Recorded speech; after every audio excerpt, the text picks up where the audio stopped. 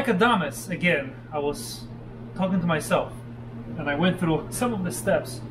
Okay, we're doing we're doing bottom of the doors. We're saving on the bottom of the doors, continuing the saving the saving front 4Runner or saving on the 4Runner mission. Okay, again, you have the elbow pad goes right over here. Okay, super easy. Watch this. Get yourself a panel popper.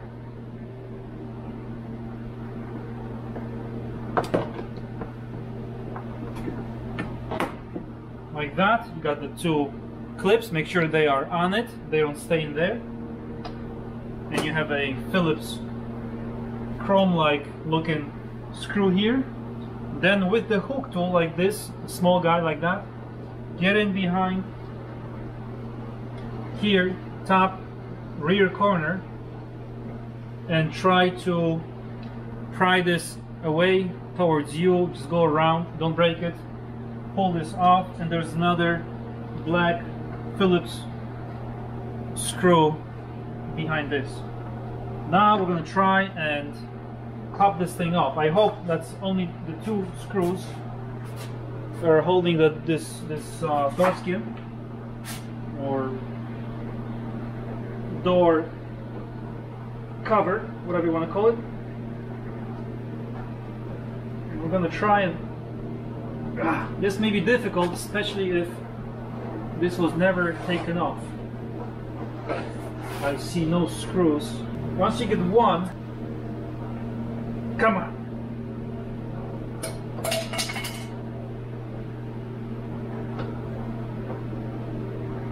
Man, I don't think there's any more screws. But I could be wrong. There's sometimes screws behind the window buttons here. And I never done the rear, I did the front other side. That was it. It's gotta pop off. Yep.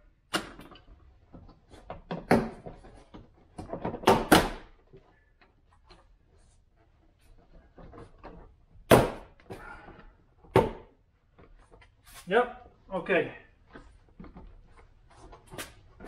Let me bring you in. It's probably better if the window is open. Alright, so pop the window open.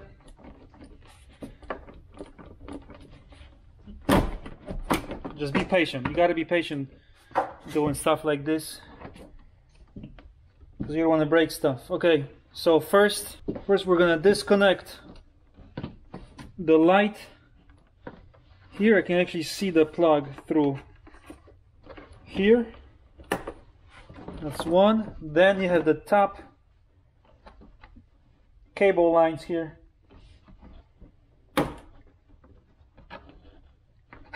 Oh, come on. For the handles, the green goes on the bottom, the white is on top. One is the lock button. Get off now.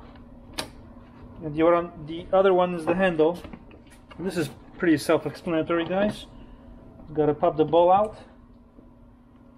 And then we have the window button harness. So the door skin. So oh yeah, make sure all of these clips stay on the on the panel.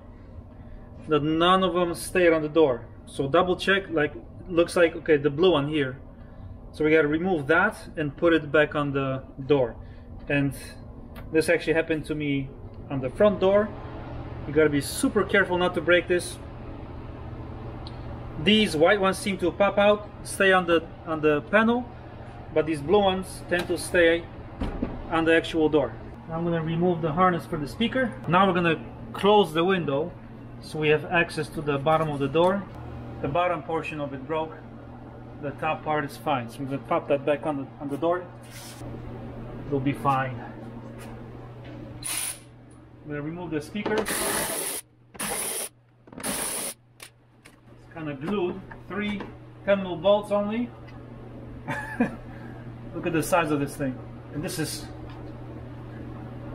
weighs nothing. And now we have a nice visual on the bottom of the door. Now without breaking the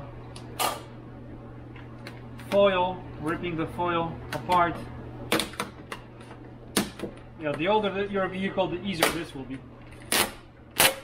If not, then what you want to do is you want to pull on, pull on the foil a little bit and start cutting the black stuff, the black gooey stuff. Okay. And now we're going to close the window. Controls from the driver's door will not work. You need to plug in the button. Okay. It's actually not too bad in here. I'm to get you in here in a moment. Okay, so maybe you can see. I don't think the, the black stuff is dirt. Maybe too much light. the, the, on the very bottom you know this stuff it feels like some kind of factory protection spray that's just dirty or the actual fluid film or you know some kind of wax it's just you know dirt got stuck to it over time it's what happens but it was much worse in the front door I'm gonna get to that. I'm gonna do the front door as well. But we're gonna clean that out. Not not all of it, just scrape off the, the dirt and spray the wax thing. Okay, if you're gonna use like a you know something metal, like a flat screwdriver or or whatever metal, make sure you don't scrape too hard. Don't press on it too hard. You don't want to take some of the paint off because it's gonna rust. I'm just carefully, lightly scraping, letting loose uh, all the dirt, dust and stuff that accumulated during the 15 years. You can actually see the so the bottom hole there, dirt falling down all the way from corner to corner because usually it's this corner right here that will rust.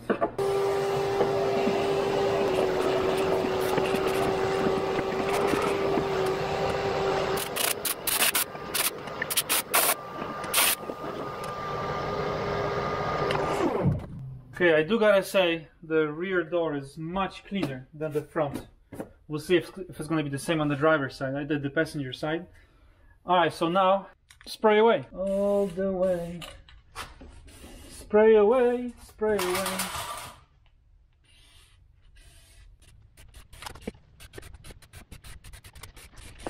Okay, don't be shy. Nice. Right here. This is what you want. Check that out.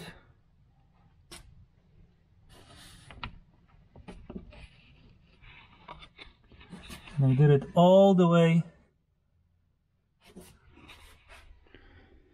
Right about to here so that's it. I'm gonna wait for it to dry for a little bit wipe the bottom off and put it all back together. And we're gonna replace this seal but that's gonna be a different different episode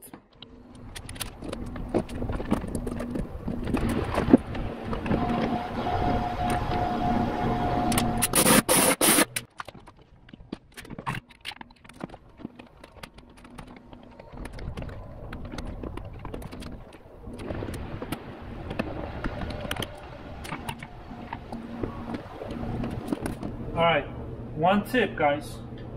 Whenever you're ready, you got everything plugged in. You know, check your work if everything works before you pop it in. Check the window.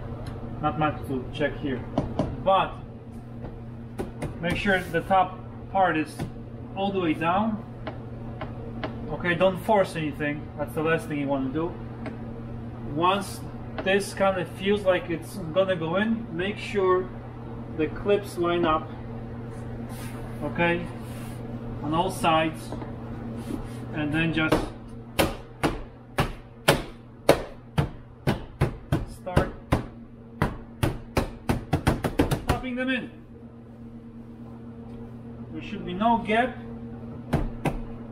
all around well you are to have a little gap from where you pulled before.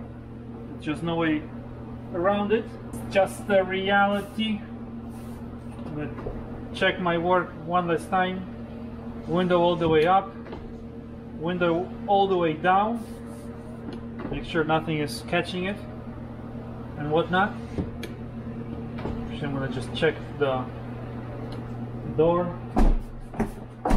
Opens, locks, and opens from the inside. We are Gucci. Pop in the two screws, this little cover. Now we're gonna wipe up the bottom. And we're gonna move to the front. All right, we continue with the front driver's side. Same exact story. Pop this open. Seems like the bottom rear corner of this plastic always wants to come out. And then just going forward, pulling on it. And then, where's, there it is. The two Phillips screws. You know, I bet you it was the broken up window seals on this car that uh, are causing all the dirt to come in from the outside to the bottom of the door. Right, there is a push push pin sort of deal. And these you wanna it's like this, you wanna push this in and then pull it out and then when you are ready to put it back in pull this out push it in and then push the little guy in. All right now it's time to pull on this again. This is never easy Oh.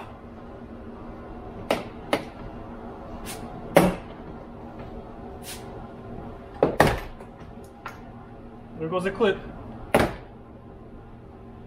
Oh yeah, it's a good idea to pop this off too, the little triangle. Easy, one little clip.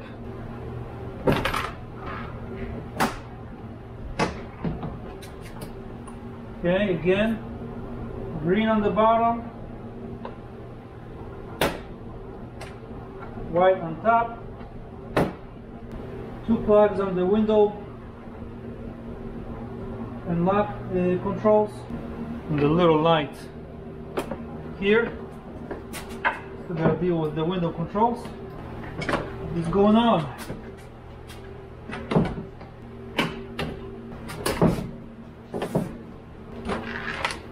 What's in there?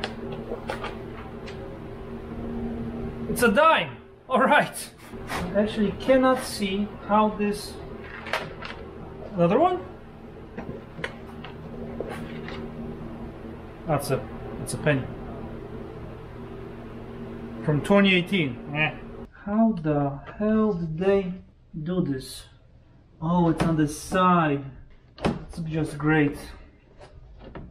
In between the panel and the plug is the push push thing. There we go.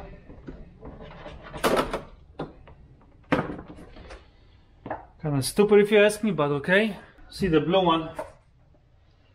Blue one stayed and one one white one popped off. I'm gonna take the blue one out and break it again. Ha! Whoop!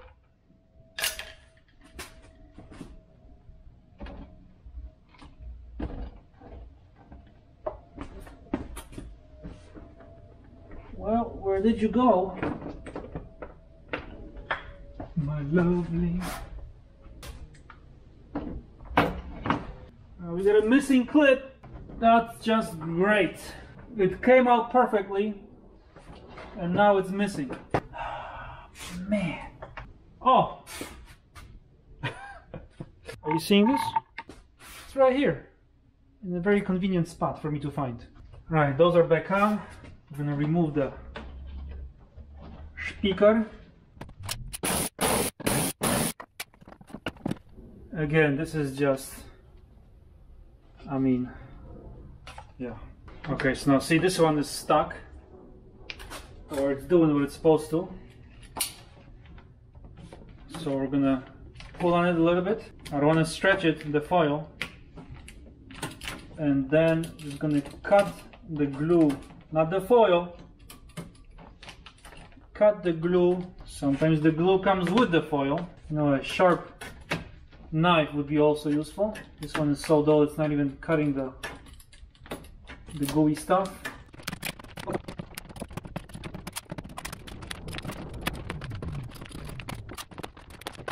Fold it over, stick it right there, bring back the, the door panel.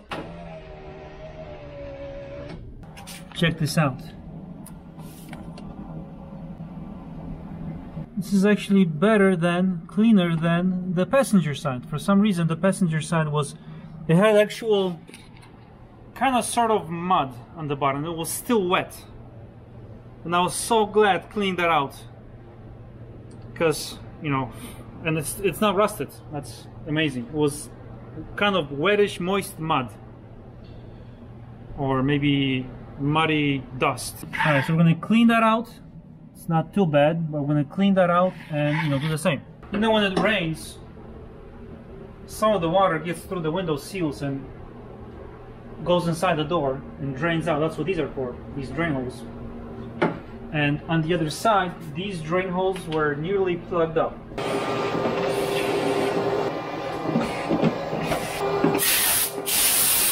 Okay guys, we have sprayed the stuff on the inside. Let me quickly show you. Mm-hmm. Make sure it's leaking out. Then you know it's all covered. One more drain hole here. I also replaced the window seal. There's going to be another video on that. Okay, now we're going to just, you know, just basically the same process, just a different door.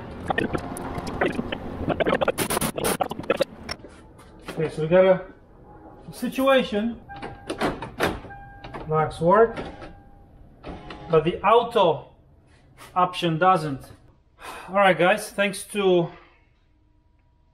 Canadian Gearhead. Thanks man. This is no biggie because I disconnected the well the window. All you gotta do is hold it go all the way up or down whatever you know Hold it there for a little longer, two seconds, three seconds, let go. Then go all the way down, holding the button. And stay there for two seconds. That's it, let's see.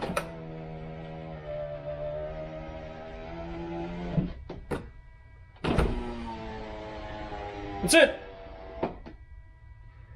We are good.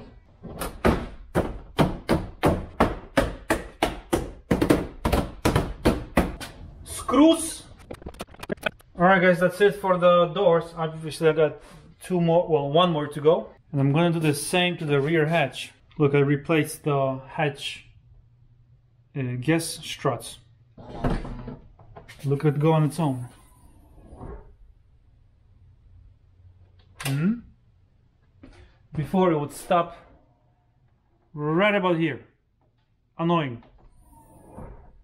Nice. And these are from RockAuto by FCS Auto 86107. Blah, blah, blah. Both sides. Got some tires. And let me show you what I have found inside the hatch. Look. Are you seeing this? You probably are not, but